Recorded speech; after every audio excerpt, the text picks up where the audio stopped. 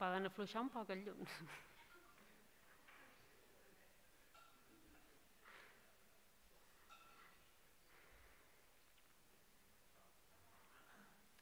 No se veu ningú.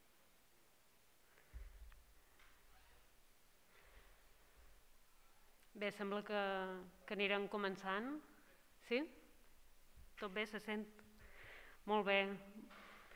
Molt bon vespre a tothom, eh, conseller, directora insular, a tothom que heu vengut, moltes gràcies. També moltes gràcies a la gent que ens està seguint per Zoom. I no fiava llegir i mirar-vos en el públic, però és que no veig el públic, així que me perdonareu i miraré ara. Gràcies. Bé, primer de tot, eh, agrair a la xarxa de custòdia del territori de les Illes Balears, l'ICTIP, que ens ha cedit el Zoom per poder retransmetre també aquesta, aquesta sessió de debat d'avui i també els altres dos dimarts que tenim per endavant, eh, perquè la gent ho pugui veure també des de casa a través d'aquesta plataforma Zoom i agrair a la plataforma Menorca pel Clima per haver organitzat aquest cicle de debats que posen damunt la taula temes clau en els quals han de fer front per aconseguir que la sortida d'aquesta crisi econòmica, social i ecològica actual se faci posant a les persones i a l'entorn en el centre. Tot un seguit de personalitats aniran passant aquests dies dels debats que ens aniran aportant les seves eh, experiències, iniciatives, coneixements, continguts, que ens ajudaran de ben segur a avançar cap a un nou model. Avui ens toca parlar de la importància de la salut i el model econòmic i la veritat és que tota la situació generada per la pandèmia ha posat de manifest la fragilitat del sistema actual de com l'estructura econòmica dels territoris condiciona l'afectació d'aquesta crisi en la seva població i ha evidenciat la importància de generar teixit social i de la força que pot arribar a tenir la societat per produir aquests canvis. Aquests dies pensava que normalment quan xerram de salut pensam en sanitat i sovint ho feim com una partida pressupostària, és a dir, com una despesa. No? En canvi, no hi pensant com un àmbit en el qual eh, poder generar economia. I avui s'hi de reflexionar sobre com la salut, des d'un punt, de vista, des punt de vista més ampli, des de la prevenció tal vegada, eh, pot aconseguir, podríem dir, des d'intentar totes aquelles accions que poden fer per millorar la nostra salut, però que a la vegada poden generar iniciatives i sinergies en el teixit econòmic de la nostra illa. La nostra alimentació, l'estil de vida que duim, com ens desplaçam, l'aire que respiram, les nostres accions diàries tenen una implicació sobre el model econòmic i la nostra salut. La qüestió és com conjugam aquestes dues qüestions i per aquest motiu s'han convidat a dues persones que d'això en saben molt. Per una banda, Ildefonso Hernández, que el tenim aquí dalt, catedràtic de Salut Pública i director del Departament de Salut Pública i Història de la Ciència i Ginecologia de la Universitat Miguel Hernández, va ser director general de Salut Pública del Ministeri de Sanitat i Política Social del, 2000, del 2008 en el 2011 i des d'on va dirigir la preparació de la Llei General de Salut Pública i la Llei de Prevenció de Tabaquisme passiu. Ha estat president de la Societat Espanyola d'Epidemiologia i la Societat Espanyola de Salut Pública i Administració de Salut. I ha estat autor de més de 170 articles a revistes científiques, de capítols a llibres editor de llibres en salut pública. Com veus, una llarga trajectòria que ens podrà explicar de ben segur la seva experiència i incorporar els continguts en aquest debat. I per altra banda tenim a Noemi Garcia, graduada en Nutrició Humana i Dietètica, amb una àmplia formació en l'àmbit de la salut i nutrició, i eh, té el seu projecte, que és Quànima, que és un projecte d'alimentació saludable que ella eh, explica que és en el sentit més ampli de la paraula, des de l'equilibri nutricional, de la sostenibilitat, el respecte en el medi i de millora dels hàbits alimentaris. Assessora diferents espais de restauració col·lectiva i des del 2018 coordina i executa el projecte Menorca al Plat de l'associació Líder, que avui ens en farà tres cèntims. Comentar que recentment també ha realitzat seguida de mesures per prevenir i reduir el malbaratament alimentari publicada per el Consell Insular, que tal vegada també acaba sortint eh, en el debat. Per part meva, res més. Eh, comentar i recordar els dos ponents que tenen 15 minuts cada un. Quan ells hagin intervingut, eh, després obrirem el torn de paraula. Tenim una, una fila zero que poden participar, igual com la resta de, de la gent que estàu a la sala, i també la gent que ens estàu veient a través de la plataforma Zoom, que durant les dues ponències podeu anar escrivint les vostres preguntes a través del xat i tindrem en Joan després que ens anirà transmetent les preguntes que fasseu per la plataforma. Així que per aquí ja està tot. Eh, Ildefonso, començaràs tu, si t'assembla bé.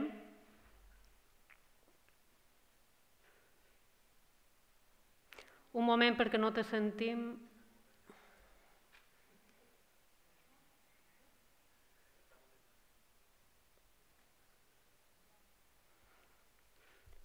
Ha funcionat, eh? o sigui que no preocupar-se que ha funcionat abans. I ara? Ara, gràcies. Sí? Eh, bona tarda, moltes gràcies per comptar amb mi en aquest cicle i avui amb el tema de la importància de la salut en el model econòmic. Molt agraït per, per donar-me la paraula en aquest uh, debat. Um, jo voldria començar uh, explica, uh, per explicar-vos una pregunta que sempre li dono voltes. No? Uh, fa anys, al, al començament del, dels 80, quan feia la meva tesi doctoral, em recordo que per fer l'anàlisi de les dades uh, ho feien una calculadora petita i vaig trigar 3 o 4 mesos per fer l'anàlisi. Ara mateix, uh, aquest anàlisi se pot fer en 10 minuts, si no estic exagerant. També, eh, per fer gràfiques, eh, tenies que fer-les en Rotring i, bueno, quatre o cinc setmanes per fer les gràfiques de, de, de la tesi. No? També per escriure en les màquines aquelles que tenien memòria només d'una línia, eren mesos de treball. No? Tot plegat, eh, eh, vaig estar més d'un any i mig, eh, un treball que se podia fer en quatre mesos, tres mesos o menys. I sempre em feia aquesta pregunta, no? On s'ha anat tot aquest temps? No? Que em recorda la cançó de Pete Seeger, que era Where have all the flowers gone?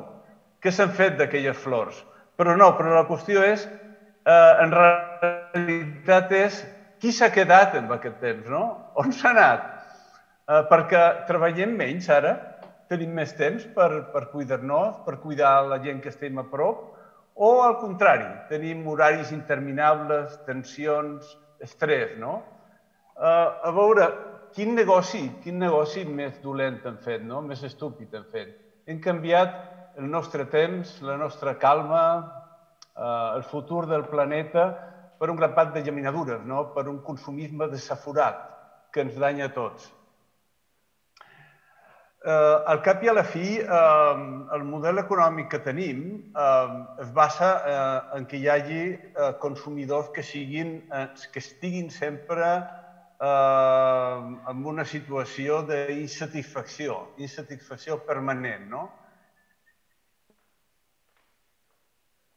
I que fins i tot els primers que aconsegueixin, eh, després d'una matinada d'espera, els primers en comprar un producte que ja tenen, només en lleugers canvis. No? El fet és que el model econòmic s'ha apropiat no sols del nostre treball fora de casa, també del, del treball a casa, no? el treball de les nostres cures, sobretot el dedicat al manteniment de la vida quotidiana, un treball que fan sobretot les dones. No?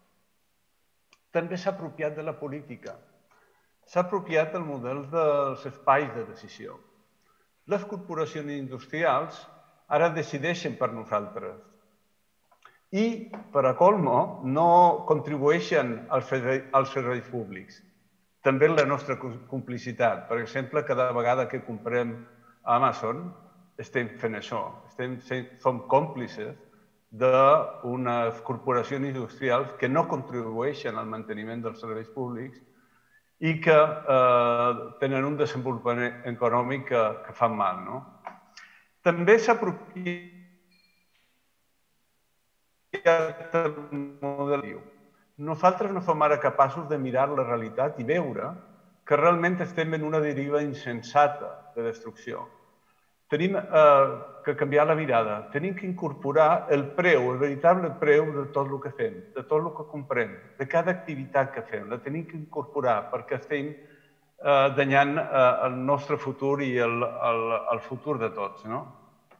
I per descomptat, per descomptat el, el model econòmic eh, actual és incompatible en un futur saludable.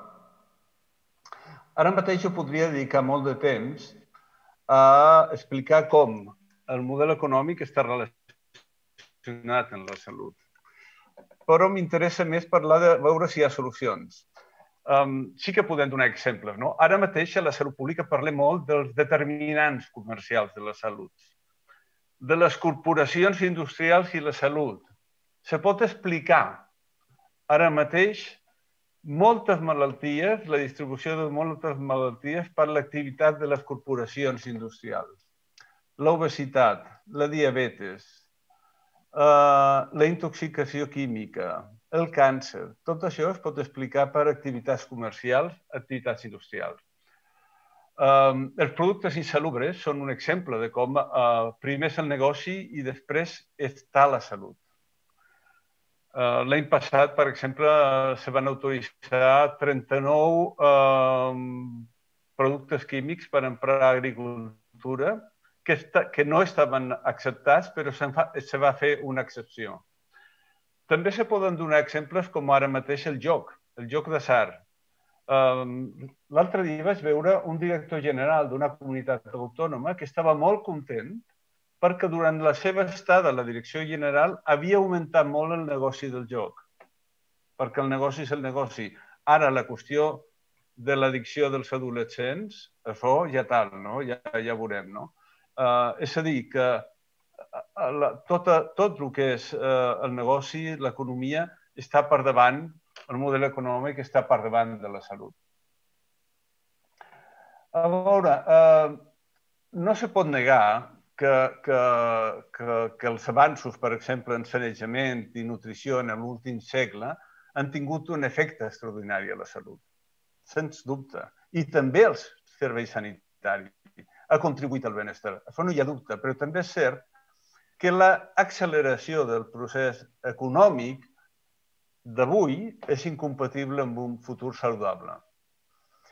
Eh, I això ho tenim, ho tenim que incorporar al nostre pensament. Però ara anem a parlar de solucions. Mireu, per parlar d'un exemple molt concret, ara l'actualitat, l'actualitat de la Covid ens dona un, ens brinda un exemple eh, d'un abordatge diferent que se pot donar al problema. No? Hi ha una comunitat autònoma que la seva resposta de la pandèmia, la seva resposta més important i que diu i que surt més als mitjans informatius, és construir un hospital. No? És a dir, construcció, uh, ús de sol públic, uh, però persones no. S'oblida de les persones. Precisament quan les persones és el més necessari, sobretot per la prevenció. Les persones són claus en la pandèmia. Hi ha molta gent que no se'n recorda, inclús moltes autoritats sanitàries que no se'n recorda que si no tenim unes unitats bones de prevenció no ho farem. Unitats com les que fan feina a Menorca, no? Aquest és un paradigma d'un tipus de resposta. El negoci és el negoci, la salut ja tal, com he dit abans. No? Però eh, ara pensem també en la resposta general que donem als problemes de salut. Normalment, la resposta que donem a la salut és una resposta molt biomèdica, molt feta de tecnologies, medicaments, tecnologies, però hi ha molt de problemes que tenen uns determinants socials i sobretot la prevenció se basa en una, un altre tipus d'abordatge. Penseu, per exemple, en la prevenció de les lesions als nens, la prevenció de caigudes en gent gran, la prevenció del tabaquisme. Tot això re requereix eh, respostes que són no tecnologies biomèdiques, sinó serveis de persona que es presten a persones. I són activitats que són molt efectives. Un resu uns resultats que valen més que costen, és, és a dir, que són molt eficients. Jo sóc conscient de que ara mateix és molt difícil parlar de tot això, perquè, clar, fer, parlar de servei de persones a persones enmig d'una pandèmia eh, és difícil, veritablement és difícil. Però crec que és oportú que pensem en la re rellevància i la contribució al benestar que molts serveis proveïts per persones, en lloc d'invertir en consum desaforat d'objectes, que acaben aviat en el punt net, no? És a dir, que quan tenim que comprar coses, si comprem serveis personals, és més sostenible i segurament molt més satisfactori. Per exemple, la inversió en cures personals, en fisioteràpia. Hi ha, hi ha una, un exemple que, que estudiem a, a, a, a Salut, que és com la fisioteràpia cardíaca, la rehabilitació cardíaca, feta per fisioterapeutes té un efecte més beneficiós que altres tractaments en evitar un nou infart.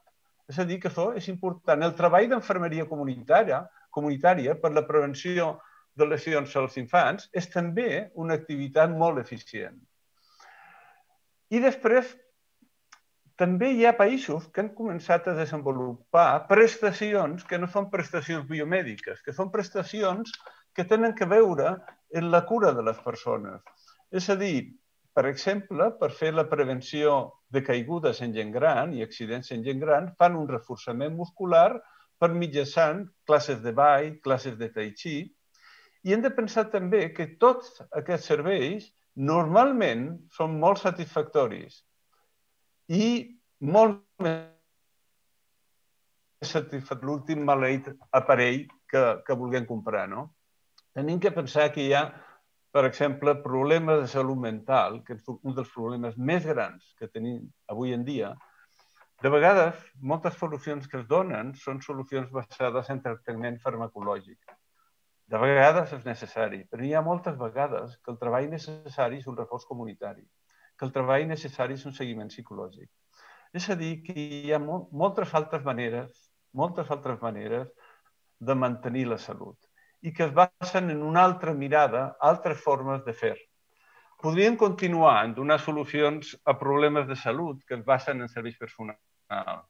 Però a mi m'agradaria escoltar-vos, perquè jo vinc aquí a aprendre, a veure com podem donar una resposta diferent a la situació que tenim. No?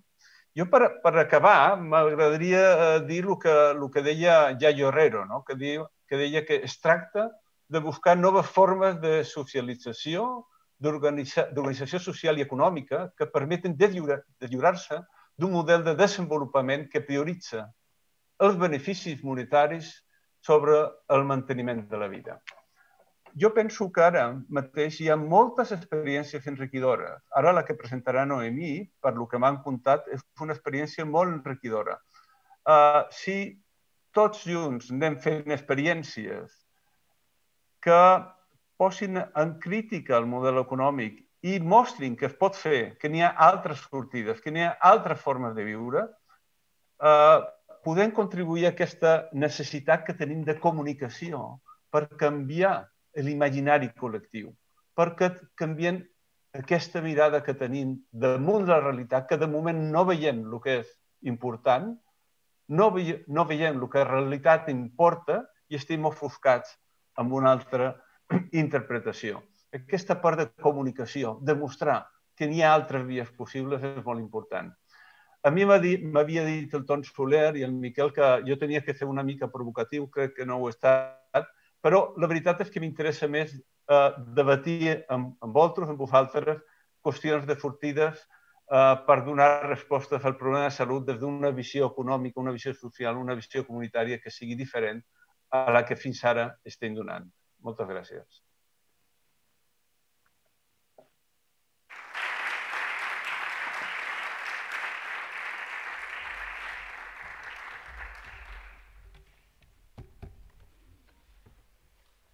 moltes gràcies, Ildefonso. I ara toca el torn de Noemi, que com bé comentava, ens explicarà una experiència d'aquí, local, que, que ja fa dos anys que s'està desenvolupant i, i podrem veure un poc més a la practicitat, a a la pràctica. Molt bé. Moltes gràcies, bones tardes a tothom, gràcies per la invitació, gràcies Ildefonso per la intervenció. Uh, Mireu, si no ho record malament i si m'equivoc anaré poc errada, vull dir, si no sé aquesta setmana serà la que ve, demà en el menjador de, de Mo, o la cuina de Mo que serveix exactament a 20 centres educatius, cuinaran crema de verdures.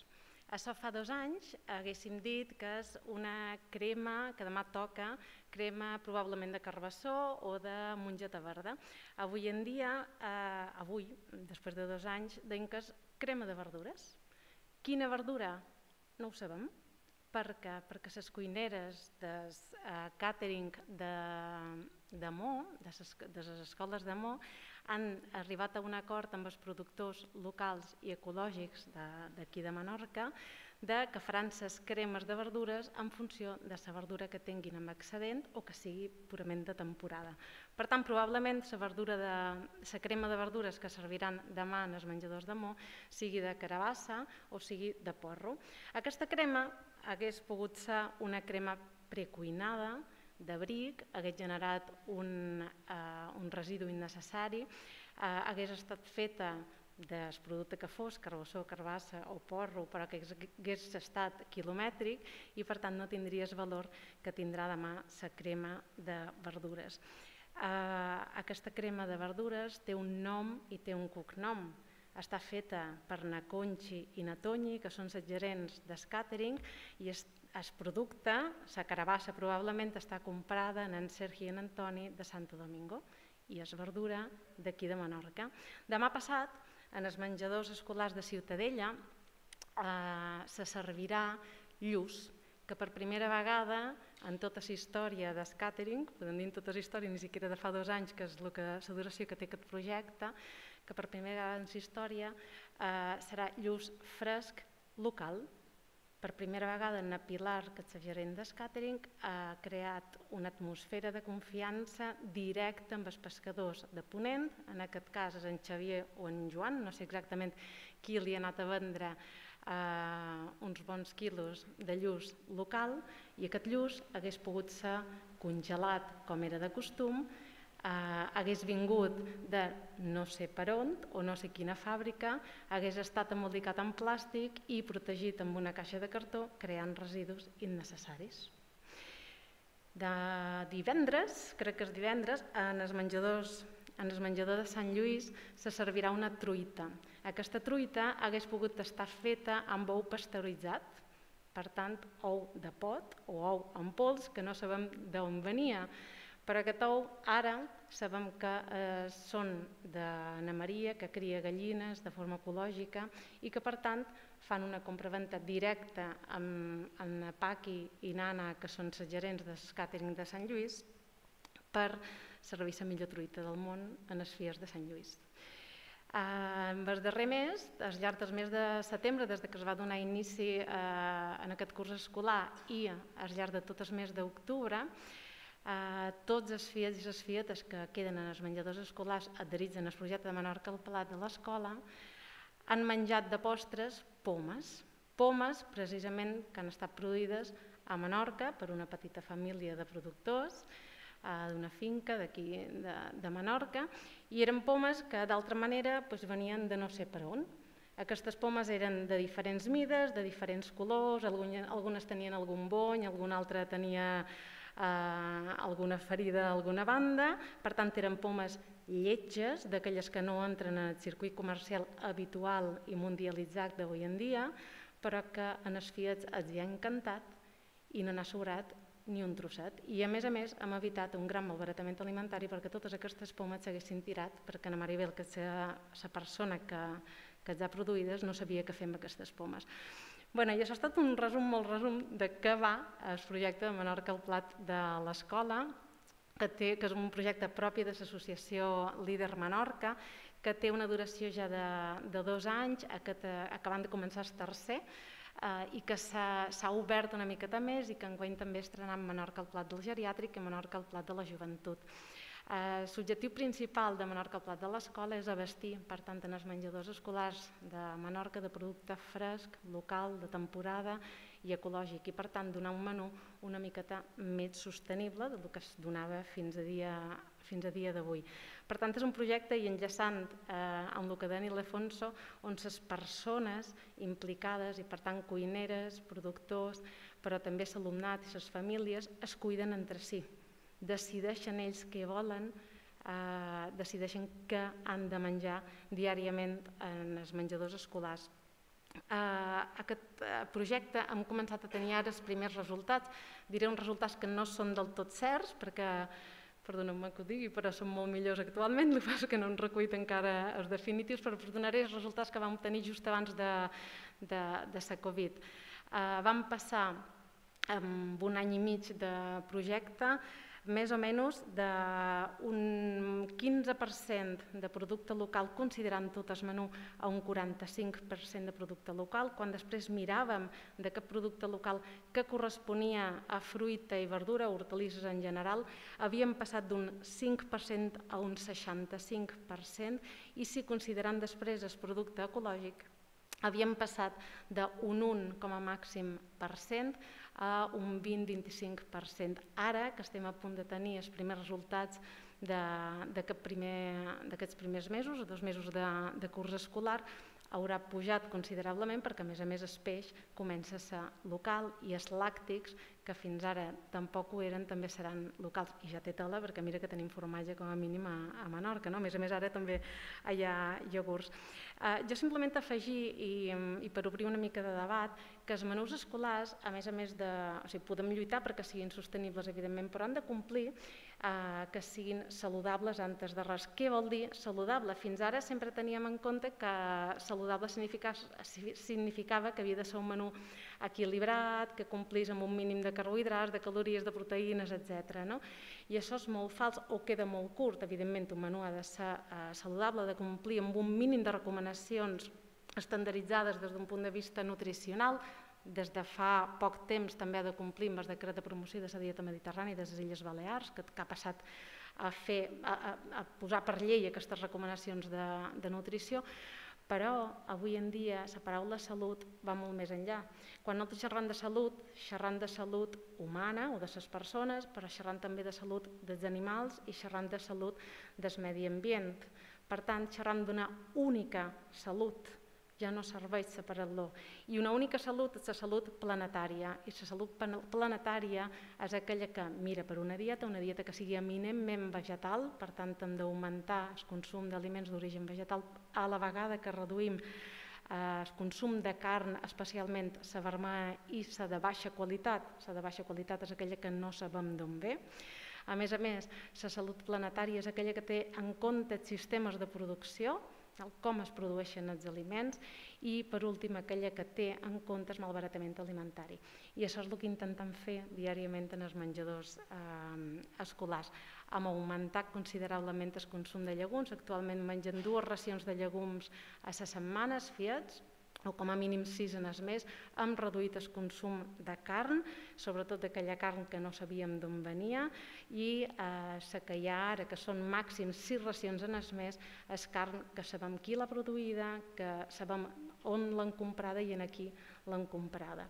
Eh, hi ha verdura fresca, local i de temporada i a més a més cada dia, cada mes a major incorporació de la verdura directament ecològica i comprada directament en el productor eh, i eh, un menú que ha reduït a més de la meitat el malbaratament alimentari.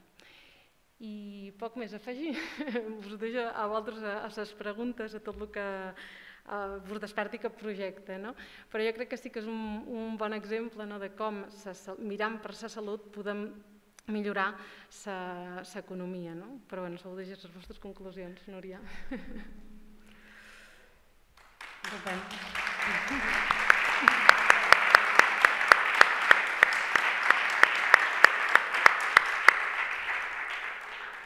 Bé, molt bé. Moltes gràcies per haver-vos acotat tan bé en els temps, no? Crec que se me feia difícil pensar com, com avisaré a Ildefonso que se li passa el temps. No, no he hagut de fer res. Molt bé, moltes gràcies. I do, ara és el moment d'obrir el torn de paraules. Eh, es, eh, tenim a Clàudia allà, que té un micro. I tot vostre. I l'esprai també, micro i esprai. Hi havia gent aquí convidada també de diferents sectors que creiem que, que teníeu relació en la temàtica, a l'hora de xerrar salut, economia. Bueno, començo jo, doncs.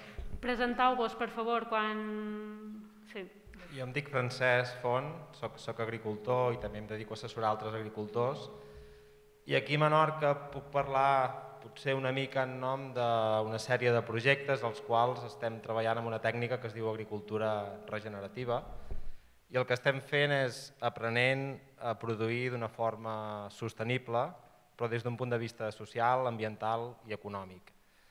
I a banda estem convençuts de que produïm aliments saludables, d'entrada perquè són aliments sense productes químics, i en aquest sentit, voldria preguntar als, als dos ponents eh, sobre el fet que a vegades sentim que, per exemple, comprar un aliment que prové de l'agricultura convencional, on hi ha molta química associada, representa un cost real de més o menys un euro més per producte si tenim en compte els costos de sanitat que hi hauran associats, per exemple, en aquest producte o els costos ambientals. O l'altre dia vaig llegir no sé on que el cost real d'una tomata, quan la comprem al supermercat, és de 5 amb 50 al quilo si també tenim aquesta sèrie de costos. Llavors, hem sentit moltes coses, hem vist que a altres països, als Estats Units, hi ha molts estudis que demostren el contingut nutricional real dels aliments que provenen d'una agricultura més respectuosa, i us volia preguntar si aquí hi ha aquesta sèrie d'informació i si quan xerrem d'aquest euro més al quilo o el que sigui, si realment és un fet contrastat. Perquè per nosaltres, a banda de que ho fem perquè ho creiem, no deixa de ser eh, comercialment eh, un argument potent també per ajudar-nos a vendre uns productes que són de proximitat, que són, de, que són més saludables. Llavors la pregunta és aquesta, si, si hi ha informació en aquest sentit. Merci. Farem una cosa, que si hi ha alguna pregunta més, ara de moment ajuntam alguna pregunta d'aquí de la sala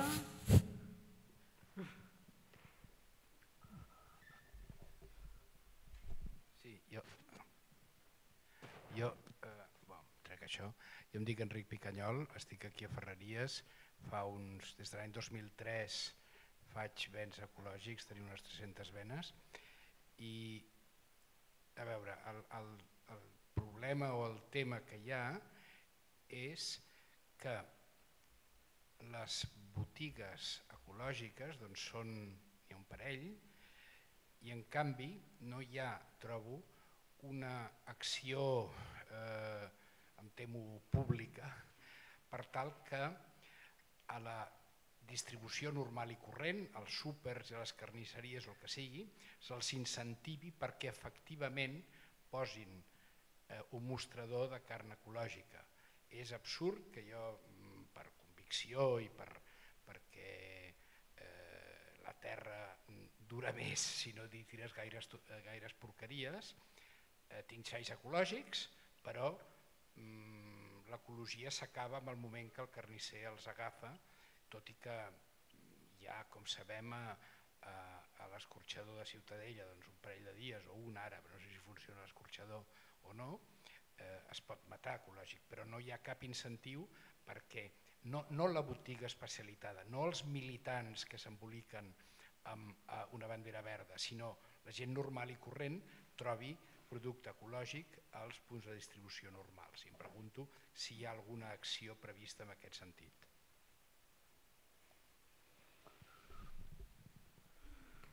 Alguna més?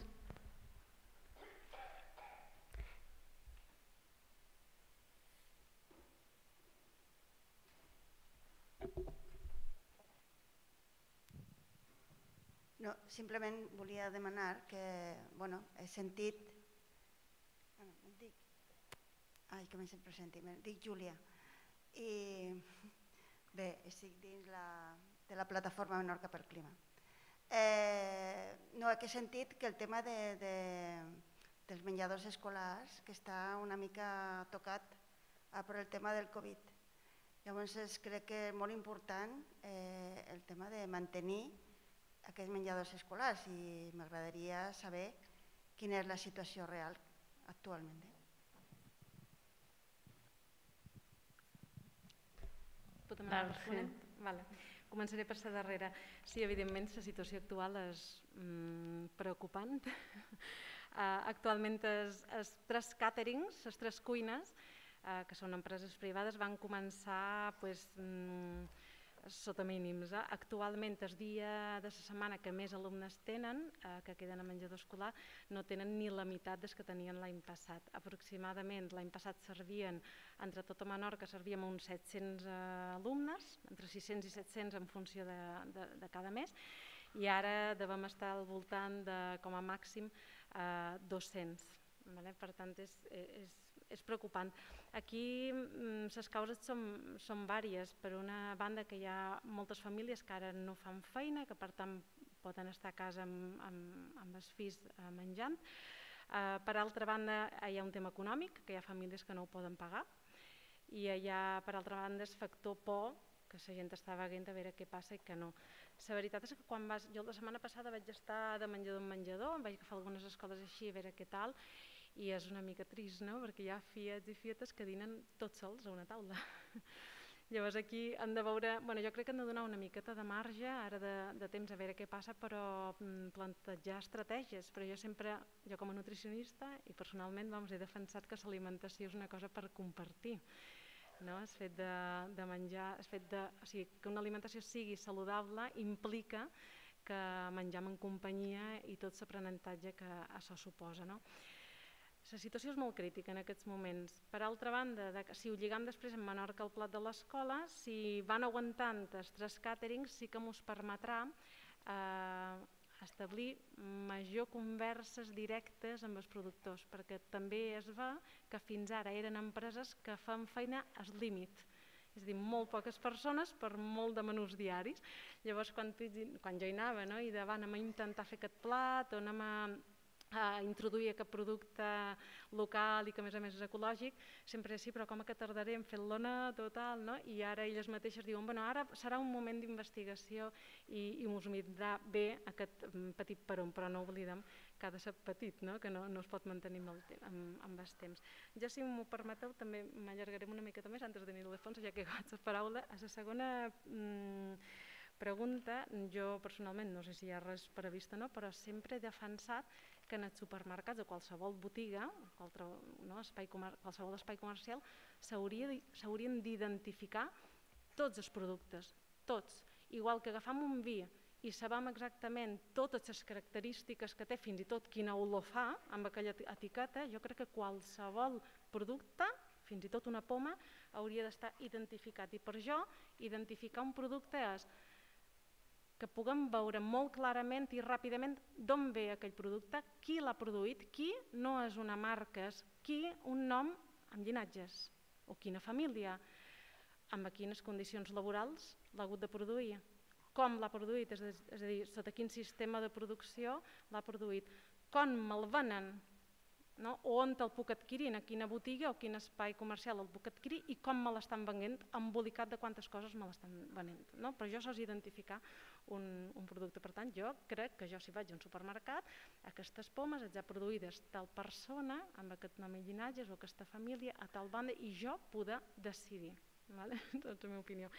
I de cara a la primera pregunta que fa en Francesc Font, Eh, jo dades contrastades no em puc donar, sí que tenc les mateixes que, que tu, però jo hi afegiria una dada més. Nosaltres en els menjadors escolars hem aconseguit aquests, aquestes xifres que vos comentava ara, no? menús molt més sostenibles, però amb una dada que no he donat tantes i és que el preu per menú eh, en aquests moments ha baixat respecte a quan no era ecològic o quan no era sostenible.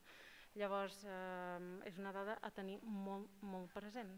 Vale? Perquè jo segueix defensant que una bona alimentació no té per què ser més cara, més cara ni, ni molt menys. I doncs separar el Daniel Defonso, si vol intervenir. Sí, uh, se me sent? Hola? Sí, sí, sí. Sí, sí. sí? Vale, la primera pregunta d'en de Francesc Font, no? Ah, és una pregunta molt, molt interessant, molt oportuna. Uh, no, tinc, no tinc, malauradament, no tinc una resposta perquè no, no, no, no, no tinc uh, fonts d'informació al respecte i és el que jo sempre dic que tenim que emprar la comunicació uh, per convèncer la gent, no?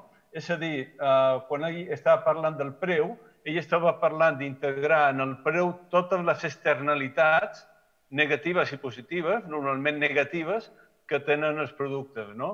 I això està relacionat amb el que deia Noemí de l'etiquetatge, no?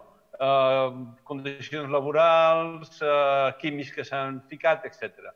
Però, dit en general, eh, està clar que hi ha un sistema agrícola intensiu que empra químics que els costos són enormes, perquè el, el, molts de, dels grans problemes de salut que tenim, per exemple, estan causats per als disruptors endocrins, que està ple a l'agricultura intensiva d'aquests eh, productes químics.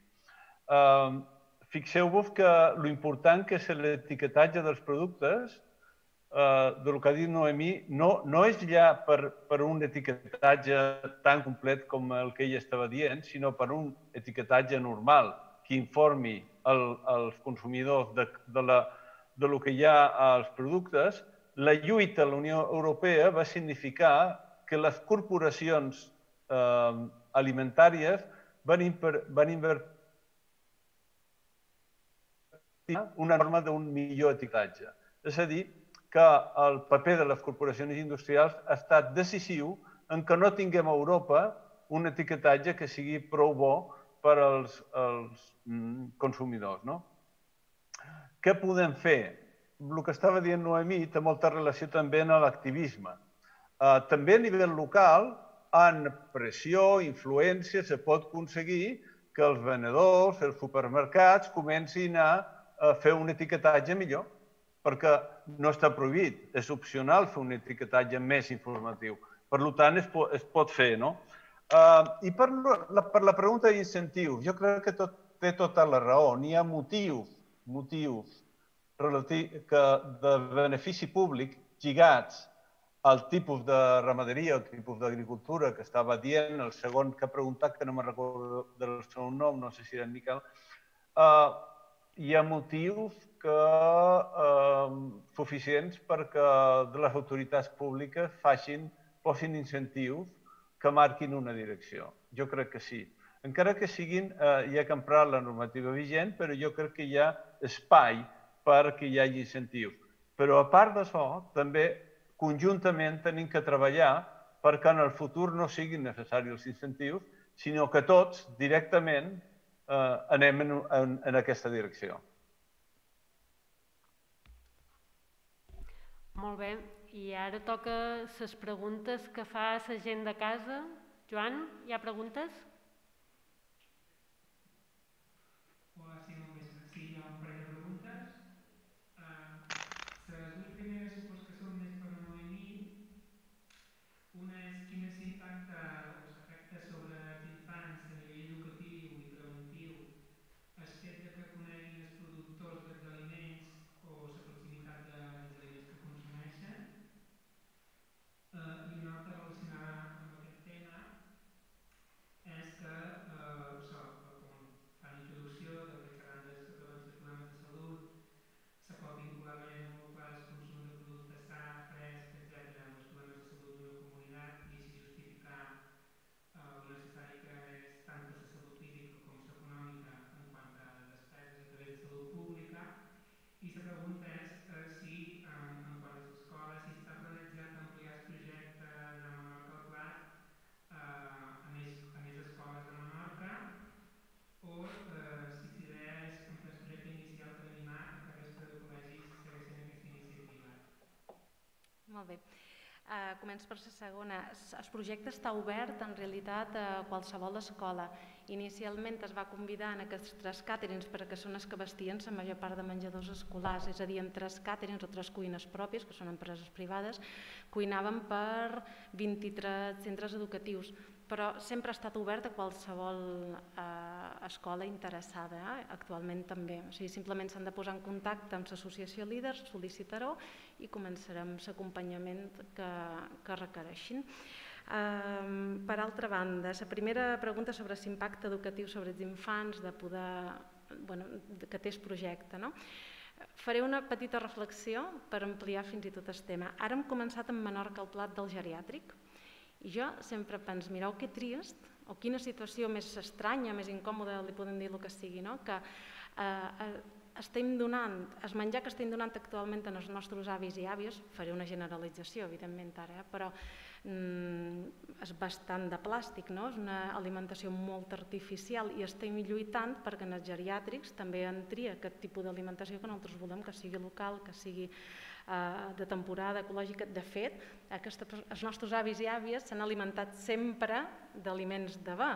No? Per tant, això que els hi donem ara avui en dia no ho reconeixen. Però que, que, o sigui, quin contrast que en uns anys el que ens trobarem serà el problema contrari. És a dir, que estaran davant unes generacions que seran avis i àvies, nosaltres, que ens sobtarà menjar una poma de va perquè ens estem acostumant ara ja a menjar pomes de plàstic. Crec que m'he explicat. No? Per tant, aquí està la resposta a la pregunta. Jo crec que l'impacte educatiu sobre els infants és impressionant. És a dir, eh, estem actuant en realitat sobre poques persones a la població, però que és un focus. No? Des de l'escola estem actuant sobre els infants els direm que mengen, els feim decidir, val? després explicaré una, una dinàmica on ells també intervenen en tot aquest procés, però que després aquests infants se'n van a casa, ho xerren amb les famílies i les famílies continuen, haurien de continuar, és un, és un dels objectius del projecte, amb tots aquests objectius de, de Menorca al Plat. No? Eh, les escoles han, duit, eh, han fet una dinàmica, ara la començarem a, a repetir, ara que s'ha estabilitzat el nombre d'alumnes que queden en els menjadors, i és que ens fem valorar els menús de tot un mes o de tot un cicle. I eh, després de cada menú de cada dia, ens hi posem un full en blanc damunt la taula i valoren aquell menú. Aquesta activitat les cuineres no en volien saber res al principi, tenien molta por perquè deien això serà un desastre, però l'important no era que fos un desastre no la valoració, sinó que els fills es fixessin en què estan menjant i eh, posen un gomet verd si els, hi ha agradat, si els hi ha agradat el primer i el segon, un gomet eh, groc si mig i mig i vermell si no els hi ha agradat. Si no els hi ha agradat no? Repeteix que o sigui, l'objectiu no és que m'ho surtin tots els gomets eh, verds, eh, sinó que es fia demà quan vagi a escola, demani, que és el que ha passat, avui farem l'activitat de les pegatines, sí, avui la farem, ah, d'acord, així m'he de fixar molt bé amb el que estic menjant i és la primera activitat, la primera passa de reconeixement. Uh, sorprenentment, la major part dels, dels gomets són, són verds, eh? i que, que no hi ha cap problema en els menjadors i després se'n van a casa i diuen pues, aquest plat, aquesta crema de verdures és més bona en el menjador que és el que volem aconseguir.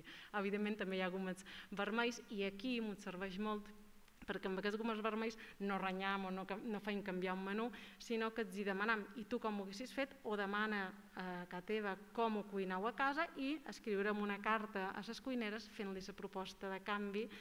bueno, ho canviïn o no, al final impliques a l'infant a decidir i a saber què està menjant, qui ho ha produït, d'on s'ha comprat, etc.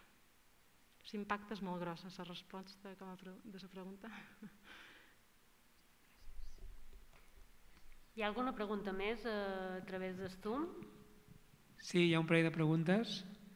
Les dues uh, fan referència a Blat i en Pa. La primera seria dirigida al doctor Hernández i diu que quina relació hi pot haver amb menjar aliments que no són històricament locals, sinó que han estat introduïts amb les al·lèrgies. Uh, per exemple, una varietat de blat importada i la següent, la darrera, és eh, d'uns estudiants d'Educació Ambiental de Girona i voldrien saber si eh, en els menjadors escolars s'utilitza pa ecològic en els menús i, si aquests, eh, i, en aquest cas eh, quin tipus de cereal s'empra.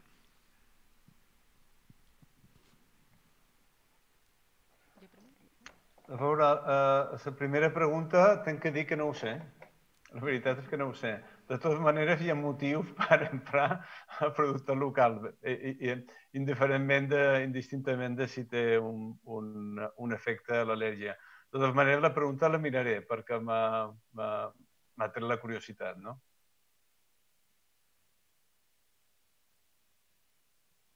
sent.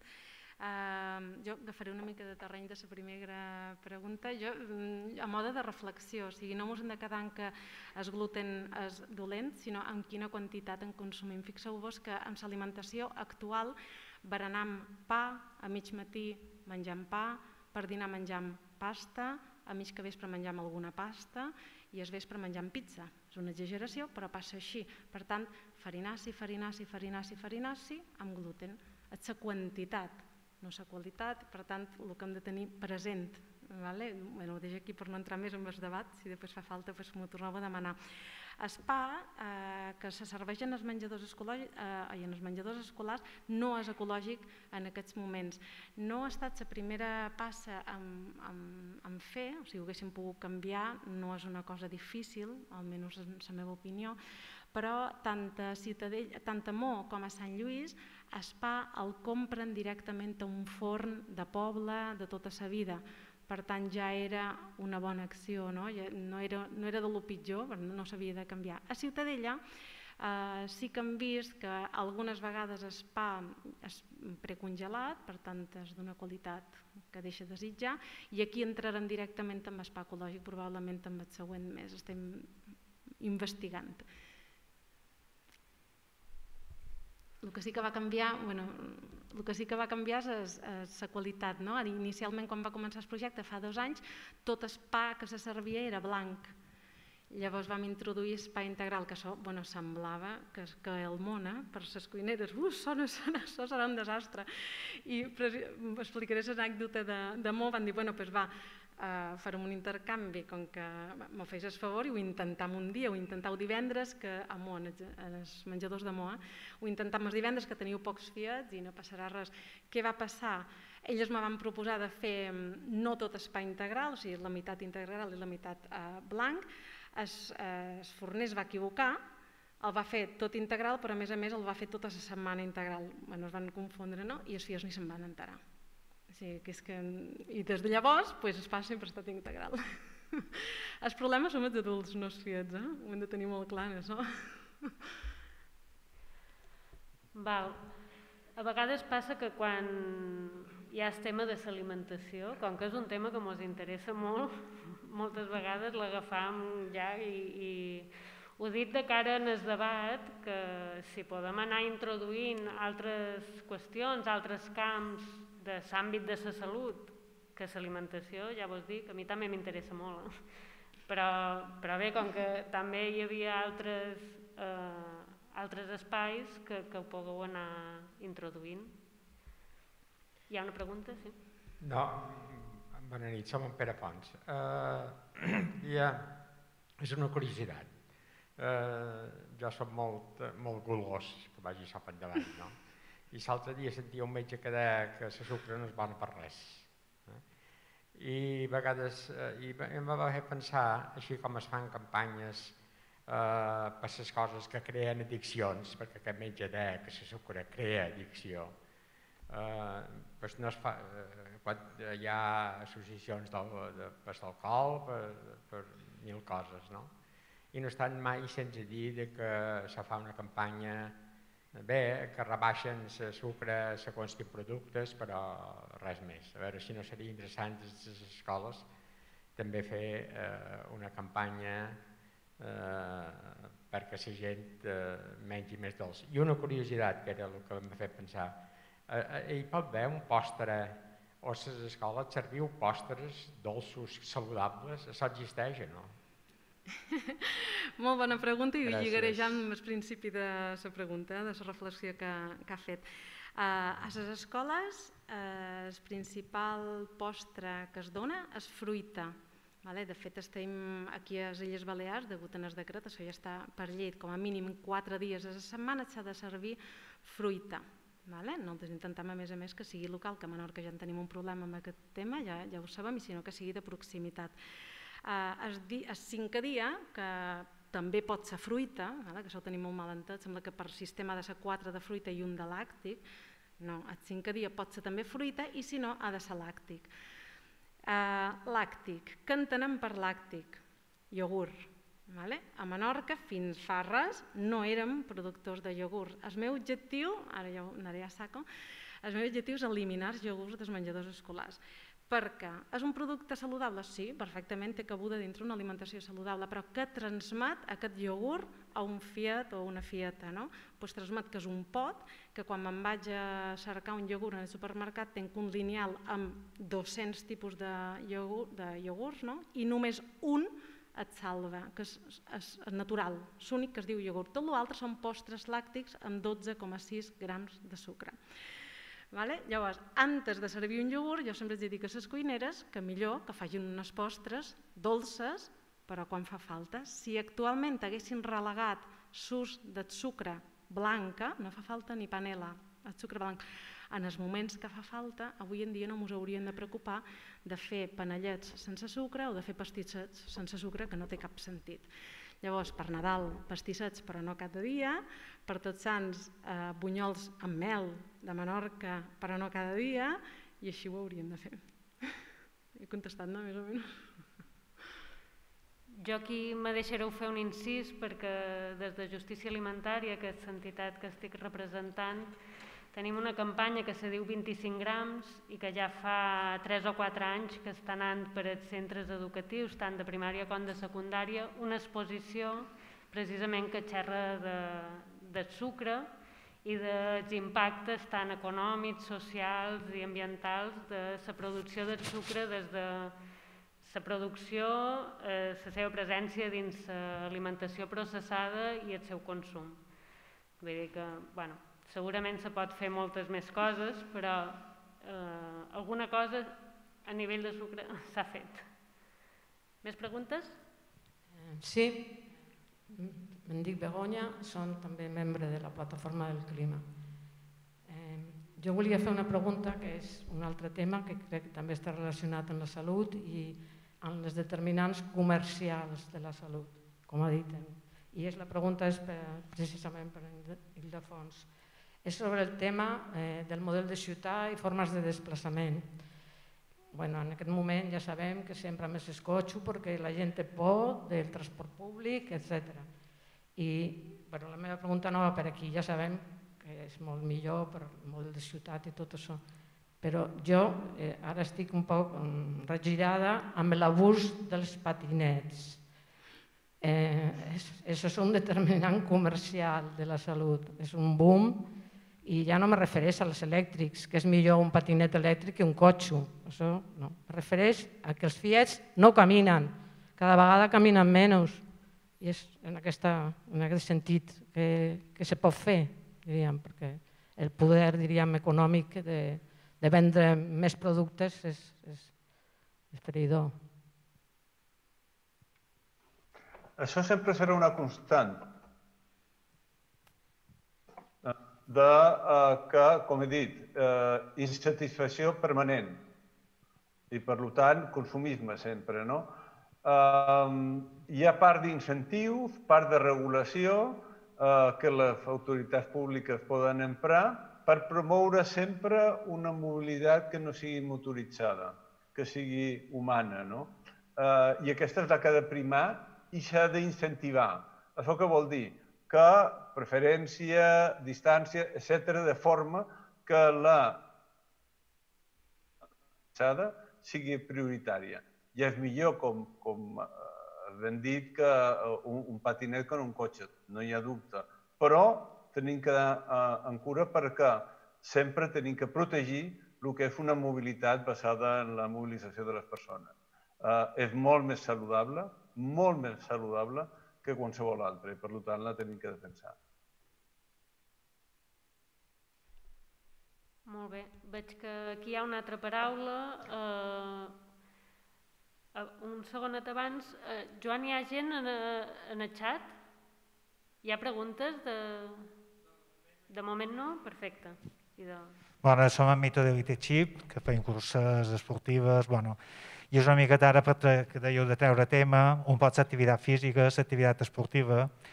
Nosaltres sí que ja des de fa bastants anys, en tot el tema de Menorca, volem vincular molt la part d'activitat física amb el mar de Menorca com a puesto ideal de, de, des de fora a nivell turístic, a nivell esportiu i a nivell saludable.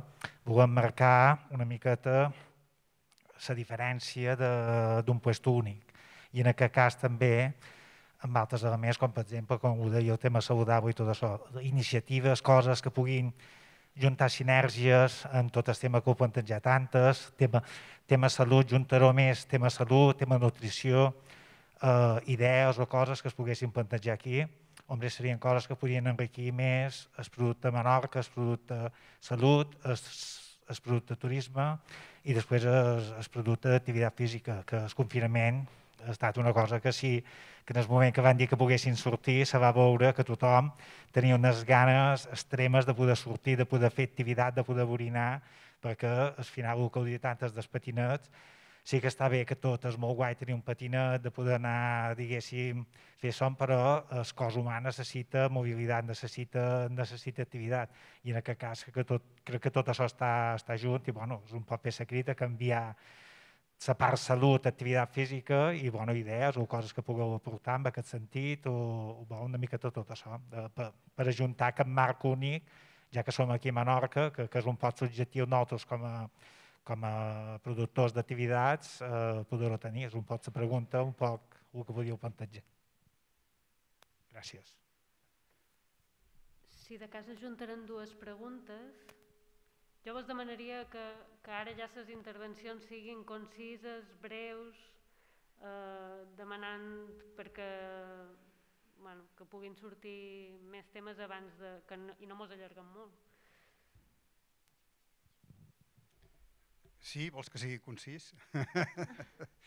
Però ho intentaré. Per favor. No, no intentant una vegada més eh, canviar un altre vessant eh, de la salut l'Organització Mundial de la Salut acaba de declarar que patim una epidèmia molt sèria de falta de dormir.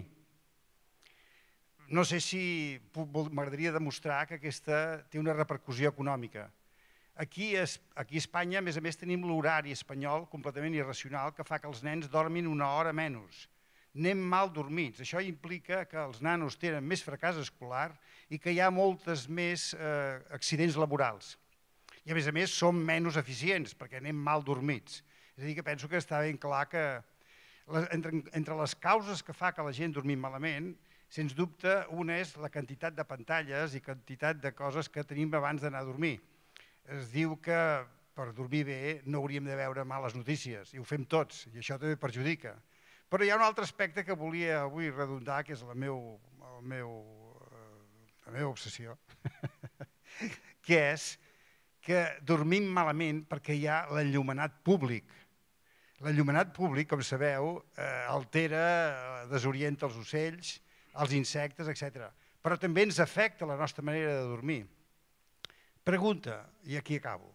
Fa falta que estiguin engegats tot l'enllumenat públic, tota la nit, carreteres, rotondes, quan molts dies hi ha lluna plena, quan tothom, eh, si ha de sortir la nit, si és que ha de sortir, el cotxe té llum pròpia, el, les rotondes tenen reflectants, hi ha lluna. I a més a més ara no podem sortir perquè de 11 a 6 del matí hem d'estar a casa. Fa falta, per favor, que tinguem l'il·luminat públic. Contamina i, ens, i a més a més ens deixa, ens deixa sense veure les estels. I aquí acabo. Gràcies. Us ho repartiu? Bueno, intervenc jo primer. Eh, el lema d'enguany de la FAO per Dia Mundial de la Salut era cultivar, nutrir, preservar juntos.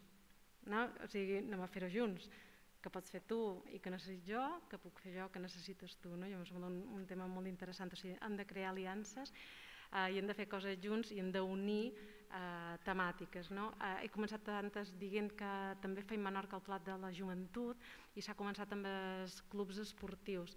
I el que fem en els clubs esportius pues, sí, és ensenyar a fer una bereneta saludable, però també existem dient a famílies o en els clubs, no? Mm, coordinadors de clubs, de quina bereneta poden preparar per a aquell equip que estigui basada en alimentació saludable i sostenible. Per exemple, no? quines altres activitats més enllà de la competició es poden fer a peu de pista i se'n poden anar a fer un espigolament, agafar les pomes que hi ha en terra, no? i estem fent cosetes així, però simplement per retornar el valor en els aliments i que els fiats i les fietes vegin un poquet més enllà. No? Bueno, això com a, com a, a punt. Anton, només apuntar una coseta a les persones que dormen menys, eh, està, està científicament demostrat amb estudis, s'alimenten pitjor i tenen major tendència a l'obesitat, a més a més.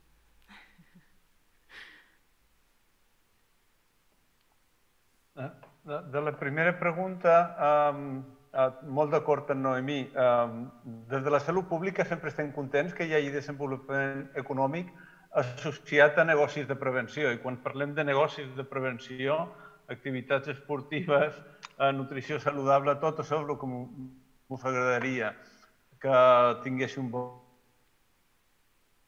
amb el tema. Per la part del, del, de la llum, ton, eh, doctor Soler, a veure, eh, se té que se té que pensar sempre en un context, perquè hi ha parts del món on la il·luminació se, se posa moltes vegades per la seguretat, la seguretat de la gent i de les dones, i per crear un ambient que sigui més fàcil per caminar i per sortir fora. És a dir, estic parlant de puestos molt diversos. Però sí, jo, jo en puestos on no sigui necessari ni fa falta llum ni fa falta la renou, però sempre eh, tenint en compte la mirada de tothom i el punt de vista de tothom perquè hi ha gent que si no no sortiria al carrer tampoc segons quina fora. No? A dir coses que no són tants.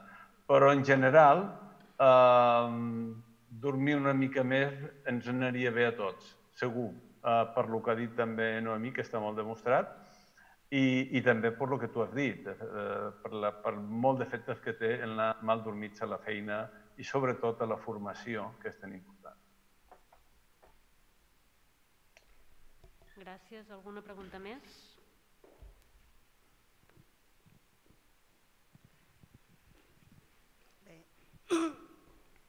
Jo simple, simplement dir, eh, volia fer un, un apunt no? sobre el tema que, de la pandèmia, no? que el que ens ha demostrat és que quan més resilients eh, són més, eh, més factible que sortirem del, de, de, tota aquesta, d'aquesta problemàtica. No?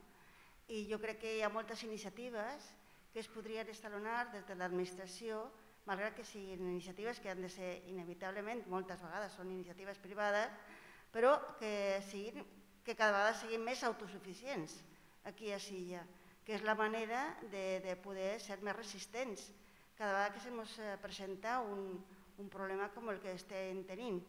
Estic xerrant no només de temes d'alimentació, eh, sinó també temes relacionats amb altre tipus de, de, de feines. Mm? de, bueno, de rehabilitació d'edificis, etc etc.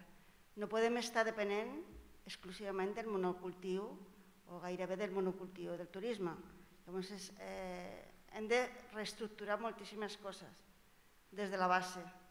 I una de les coses importantíssimes és l'alimentació, però no exclusivament l'alimentació.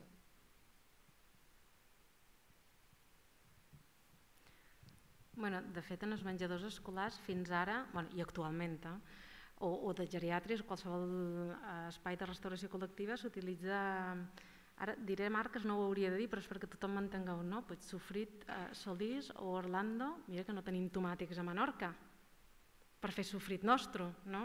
D'acord amb, pues, vamos, o ens organitzam o ens organitzam.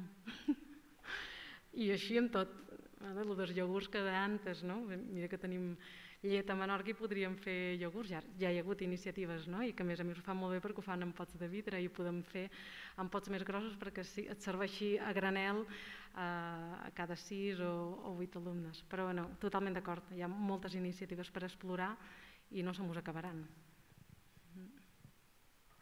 Molt d'acord, jo crec que hi ha que posar sortides diverses perquè el monocultiu no, no és el futur, el futur és un altre i per tant hi ha que posar molta, molta feina, molta idea, molta creativitat per sortir i tindrem que fer feina. I una part, eh, sortir de problemes com la pandèmia també té un punt de, d'activitat comunitària, d'activitat solidària i activitat fraterna. Aquests valors eh, són molt importants per sortir dels problemes. Hi ha que cultivar a nivell comunitari, a nivell de d'aquesta solidaritat i fraternitat que sense ella no en sortirem.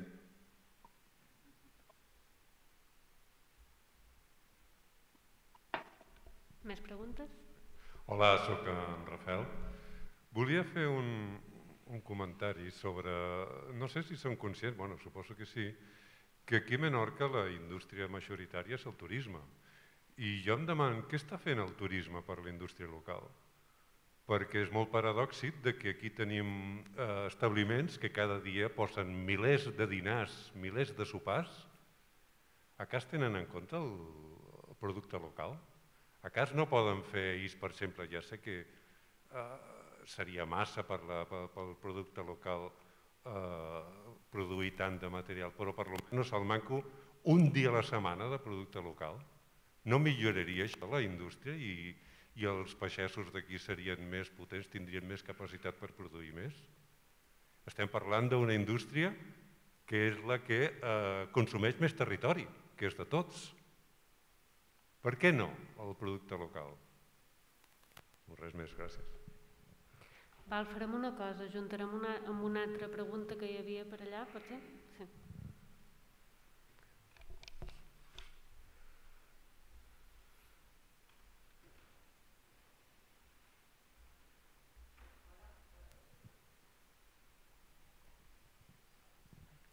Bueno, jo em dic Andrea. Jo afegeix en aquest grup que hi xerra de turisme, als sectors més vulnerables. Antes xerraven un poc de l'economia. Què passa amb aquelles famílies que no es poden gastar aquest euro més per una alimentació sostenible? O què passa, amb, seguint xerrant de salut d'altres àmbits, amb la soledat, no? amb la gent que està sola després d'una pandèmia on bueno, vivim en por, ens fan estar tancats, com construir des de la comunitat o quines projeccions o projectes hi ha eh, que portin ja sigui el tema de l'alimentació o, o altres àmbits i que relacionin amb, amb lo local i amb la comunitat. És a dir, com a societat hem d'ajudar també el camp, però com també ajudem els que estan al, al nostre costat i estan sols o amb por, una mica ample tot plegat, però ja que xerrava turisme me'n vaig a l'altre punt no? de, de la societat també. Gràcies.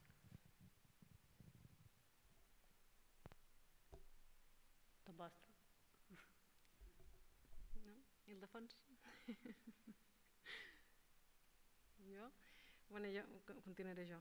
A la primera pregunta, bueno, jo, jo crec que hi ha molta gent que s'està sumant, es, vull tenir una, una visió positiva eh, i optimista, jo crec que sí que ho aconseguirem, estem molt enrere, hi ha molt de camí a fer i crec que hem de canviar un poc la visió, és a dir, Uh, clar, és que els turistes mm, me demanen pinya.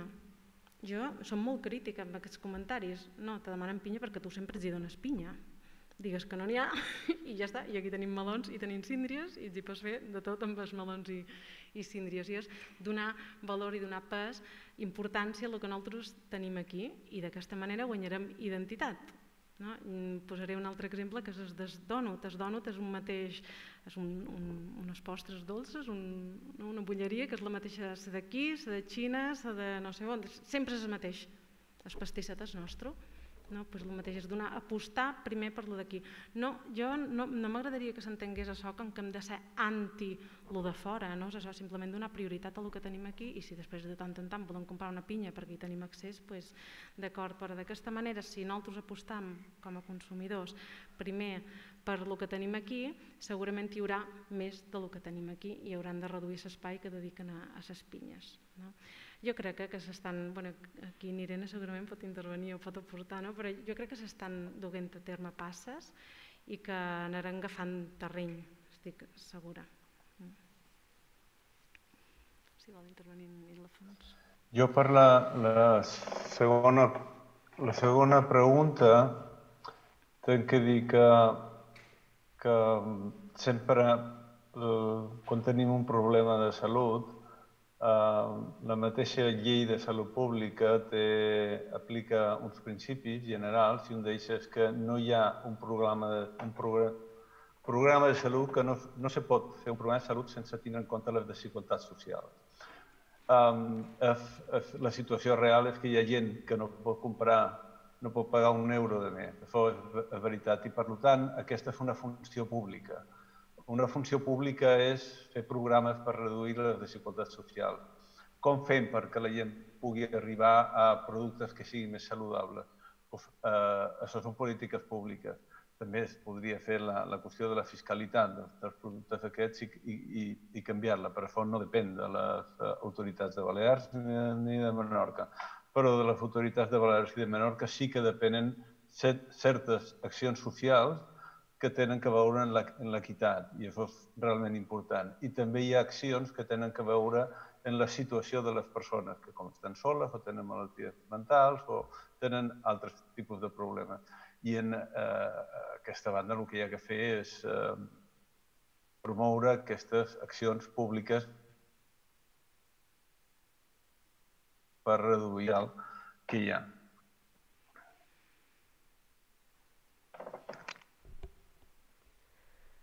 Molt bé, arribam ja a la darrera part, no sé si hi ha alguna paraula més. Des de Zoom? Sí? Sí, eh, des de xat hi ha una pregunta més. D'acord, uh, serà la darrera. Molt bé. Ah, no, n'hi havia també alguna per aquí? Va, ha dues. Bé, la des de xat és d'en Eduard Forró, eh, que demanen els dos ponents eh, quines accions eh, farien falta prioritzar per incrementar la convicció social, la consciència de la població envers el bioni, salut i consum. I si podem ajuntar-la en la pregunta d'aquí de sala? Hola, uh, me dic Alba. Primer de tot, moltes gràcies pel vostre servei i m'ha alegrat molt uh, veure els resultats. I això me preocupa especialment el tema d'envasos, que crec que s'ha incrementat també a través, uh, des de la pandèmia. I així com heu xerrat de, del catering, que hi ha catering social eh, a través de la Fundació Discapacitats de Menorca, que a part de donar oportunitat a persones amb discapacitat a tenir una feina, doncs també estan oferint un servei de, de menjador on a través de la seva pàgina sé que ofereixen, no sé si les dades són reals, 220 menús diaris, cadascun va amb envasos separats, a part d'una fruita que també va en bossa de plàstic, un tros de pa, de pa en bossa de plàstic i tot ve junt amb una altra bossa de plàstic. Això són molts envasos que me deman si hi ha quina alternativa podeu veure o si hi ha una mirada cap, a, cap aquí. Alhora també com incloure inclús el tema de a granel, a supermercats o a restaurants, bars que tinguin, que incloguin més un servei de Tupperware, per exemple, o no sé, me deman que els restaurants, bueno, fent-se...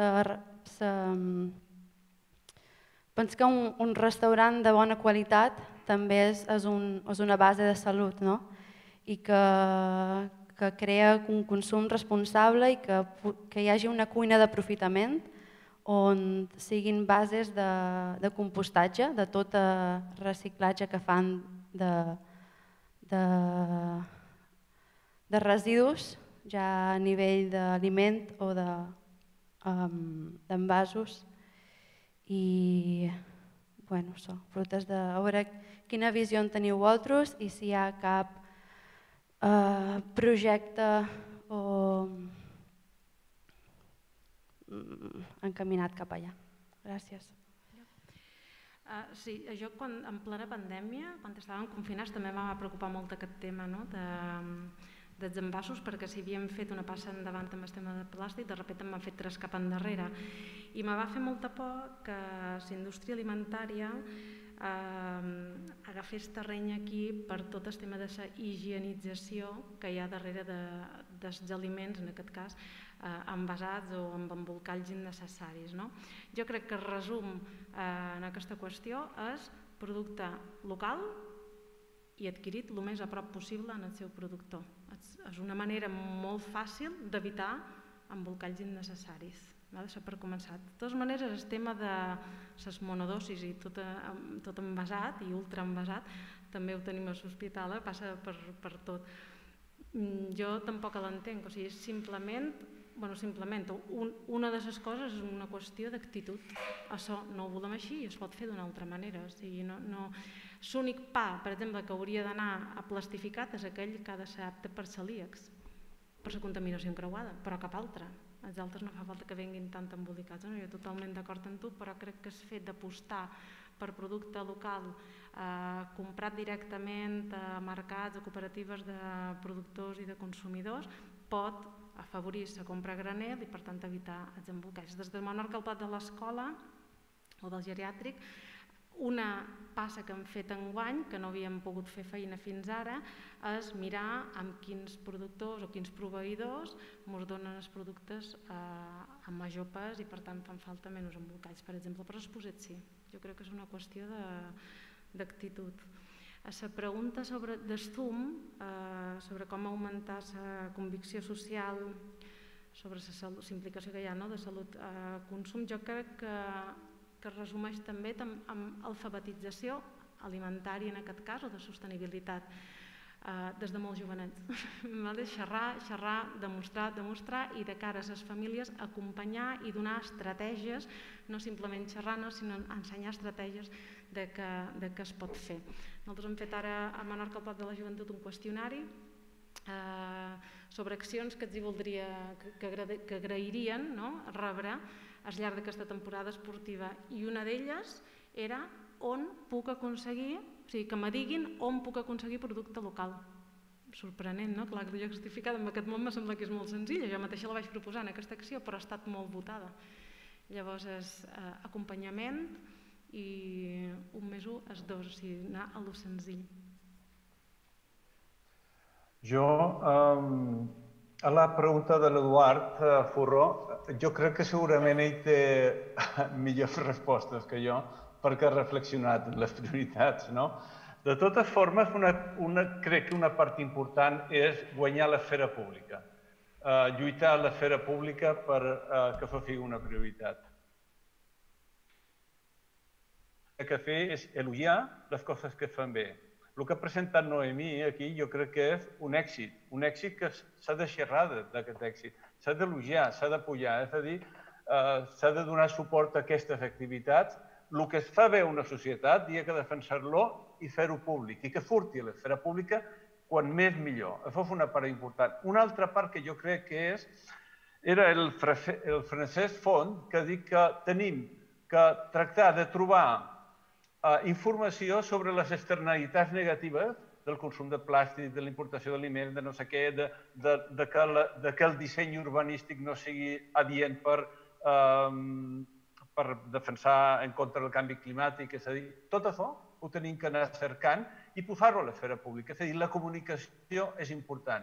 I també tornant a Noemí, la clau és l'educació. Per tant, aquesta activitat que fa d'educació de, de, quan són petits, això té un potencial molt fort. Sempre, quan, eh, sempre ho dic jo, quan estem mirant la variació de la salut al món, el que millor explica com variable única quines poblacions tenen millor salut són aquelles poblacions que tenen millor educació de les dones.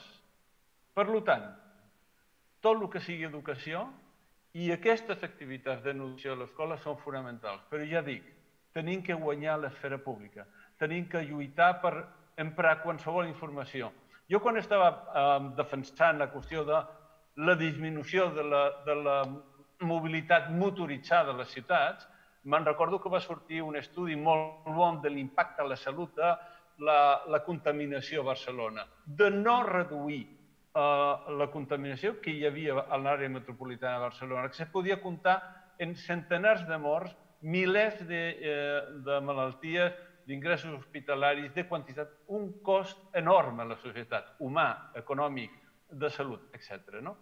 I pensaves, com se pot fer? Per què no posem un comptador a la plaça de Sant Jaume que digui avui s'està morint tanta gent, s'està ingressant tanta gent perquè estem amb aquesta mobilitat i amb aquesta contaminació.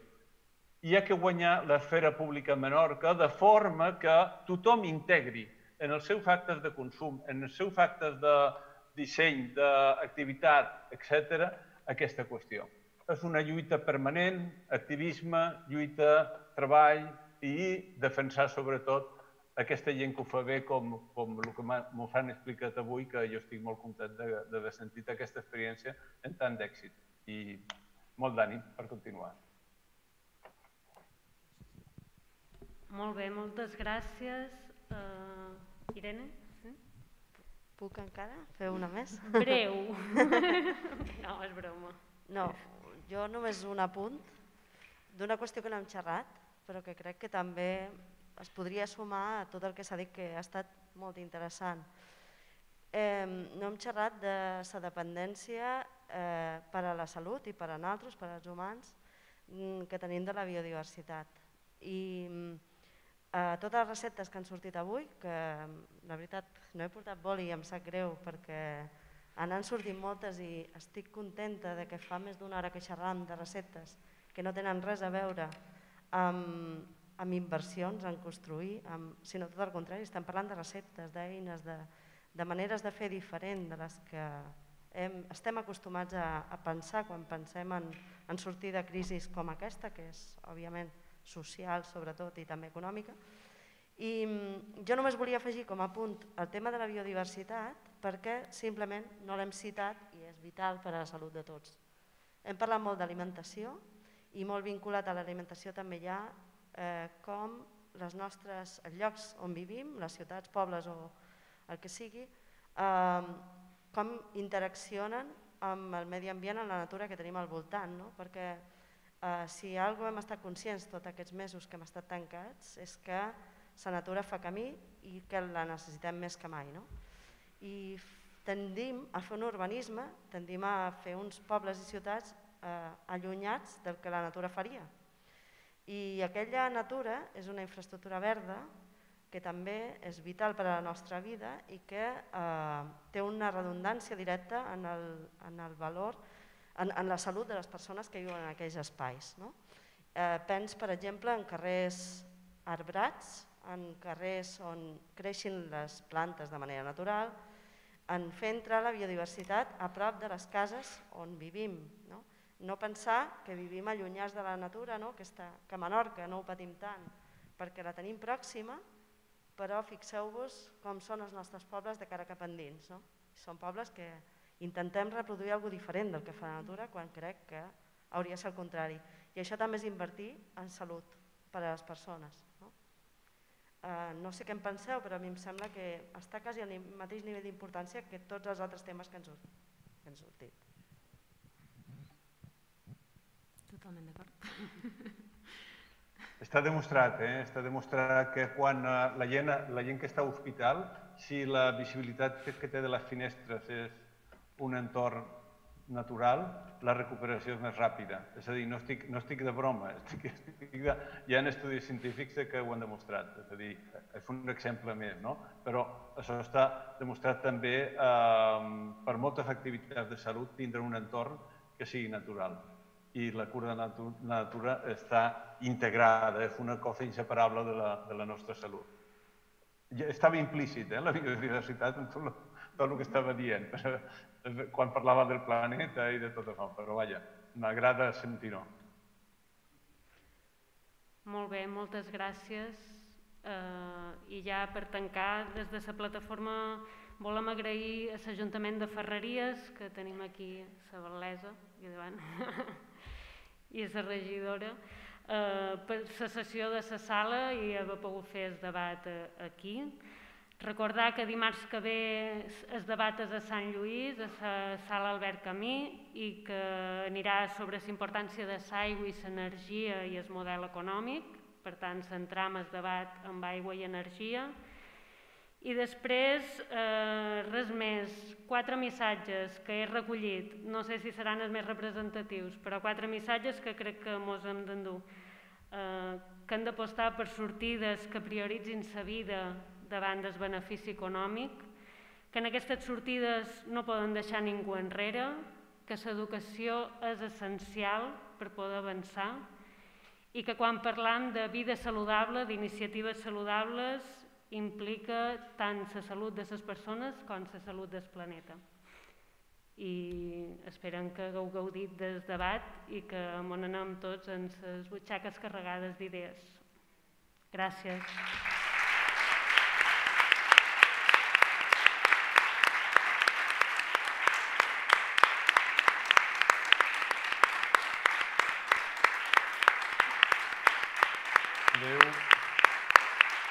Moltes gràcies, Ildefonso. I Noemi. Adéu. Adéu.